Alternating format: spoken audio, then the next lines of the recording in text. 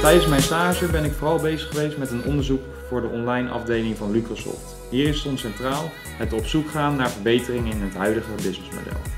De laatste weken heb ik vooral meegedraaid met de marketingafdeling. De manier waarop Lucrasoft met stagiaires omgaat maakte wel de meeste indruk op mij.